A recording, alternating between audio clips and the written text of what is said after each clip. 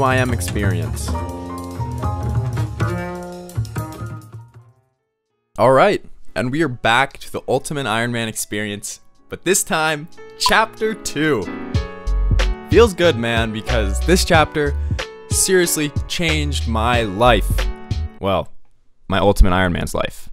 So, in Chapter 1, like, only 10% of the time it took making that video was spent actually doing the interesting stuff, like achieving goals. 20% of that time was just buying the supplies I need and getting the supplies. And then, like, the remaining 70% of all that time was just running around the map, taking forever. Always being out of run energy, having literally only one teleport, which was the which is the tree spirit teleport, and that's it. And based on those two things and like some boats, I have to find my way around the entire map. Um, and to say the least, it is so slow this way. So, chapter 2, it's all about transportation. I'm not talking Teslas, I'm not talking private jets, I'm talking way better than that. Fairy rings, getting some magic levels for teleports, I'm talking about jumpsuits that somehow when you wear every part of the jumpsuit or robe thing, then you get a 30% run regen bonus. Don't ask about it, it works that way. Yeah, I'm talking about graceful, you know it. And that's what we're gonna do. We're gonna be able to be so mobile by the end of this shiznap. You feel? In chapter 1, we left off in the Canifis Agility course, running laps and gathering marks of grace. I actually really don't mind this course. It's pretty enjoyable, you get the marks super fast, so I'm to be sticking around here until 60 agility, and if I don't have enough marks by then, then I'm to be moving to the Seers course to finish off the marks. By the way, I'm looking for a total of 350, because I'm to be wearing this graceful a lot, so I gotta be looking good with those recolors though. Alright, so no surprise. I leave the Canifis course at 60 agility with only 305 marks of grace, leaving me 45 more to get at the Seers course, which doesn't really bum me out because that's going to be some pretty good XP, and the more agility levels I get, the less time I'll be spending walking anyways, so whatever, so be it. I've managed to get four agility levels over the course of getting 45 marks of grace. So that's about an agility level per 10 marks. Uh, that's either slow marks or fast levels. I would say that was pretty fast levels. But holy crap, I'm so stoked. It's time to go to Burthorpe, grab myself that sick looking, not colored graceful set, and then immediately skirt over to the Hosidius house place so I can start getting my favor up. That's right, we're going green, baby. So, although I do really like green, there's a bit of a practical approach to getting the Hosidius favor as well, because with the Hosidius favor, it unlocks two really important things. First thing it unlocks is the Woodcutting Guild. That's going to give me access to a rune axe and a really sweet place to AFK woodcutting. And second, that unlocks the Tithe Farm, which I'm eventually going to be getting a seed box from, and maybe even the farmer outfit in the future. So really, this is just all around going to benefit my account the most to do the Hosidius favor. Um, and I love the green. I'm one with nature. I'm with the earth tones. You feel? In the process of getting this favor, I busted out like seven free farm levels just plowing the fields and then once I was at 45%, it unlocked the cooking favor gain, where you make food for the armies. Went ahead and did that, got 10 cooking levels, and the favor went super fast there. Um, fun fact a Ultimate Iron Man actually got 200 mil cooking at this place. So I guess this is a very viable way to train my cooking. Maybe I'll come back one day. Favor locked in grabbing my green graceful. I'm looking good, feeling good. Actually, on my main, I never recolored my graceful, so this is my first time feeling cool in my colorful graceful right now. The green man. if I wasn't so lazy, I would totally go do um, two more favors the one that unlocks the yellow graceful set and the one that unlocks the red graceful set, and then color my helmet red, my chest yellow, my gloves yellow, and then my pants green and my boots green. Yo, the herbs come around. The I quit when me a look. So, all that said and done, I'm totally broke right now. I have no money. My next move is making some GP because, I don't know, I always end up having to buy stuff.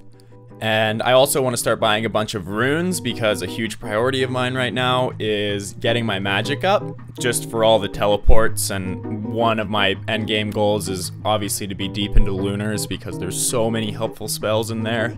So I know that agility pyramid's probably the meta for low level Iron Man GP making, but I'm always looking down the road for endgame. So I watched a Settled video where he was fletching, stringing, and then alching bows, and it's pretty good money, especially once you have the ability to make magic longbows and then alch those because you're looking at like over a thousand GP per bow. Um, so I started cutting, fletching, and stringing bows. Obviously, with oaks and willows, it's really not that good of money. I spent probably three hours doing this. Got myself 30 crafting, which feels good. Um, 40 fletching, 40 plus wood cutting, and like 10 KGP. Obviously, not totally worth it. Um, I'll probably come back to this grind another day, but in the meantime, I fell on my sword and went to the desert and started up that pyramid grind because 10k every like 10 minutes is pretty hard to beat on an ultimate at level 30 combat. I was hardly here for any time at all and walked away super happy with 170 KGP now I'm ready to start making my way towards those fairy rings. In order to unlock fairy rings, I need to have partially completed Fairy Tale Part 2. Um, and in order to even unlock that, I'm going to need to do Fairy Tale Part 1, Lost City, Nature Spirit, Restless Ghost, and Priest in Peril. I've done Priest in Peril, I've done the Restless Ghost, leaving me Nature Spirit, Lost City, and Fairy Tale Part 1. Starting out, I went for Lost City, which, oh my gosh, this is the easiest quest. For some reason, maybe it's because last time I did this quest was like 10 years ago and I was 12 and felt like it was hard then. This quest was a piece of cake, it took me two seconds. Then, moving on, I went ahead and busted out Nature Spirit, which was definitely more challenging. Being in the swamp is always a little bit scary, especially when I'm only combat 30 and the ghasts are breaking down my food. But overall, it went pretty easy. It felt pretty cool crafting my own silver sickle, you know, really putting that crafty in my name to use. That's the whole reason crafty is in my name because I like the idea of being self-sufficient and being able to rebuild my account really quick because I can craft all my necessary items and potions and whatever. That's another episode to talk about though. Chapter 420 Account Philosophy and why I'm named what I'm named. Honestly, I wouldn't be surprised if I made something stupid like that.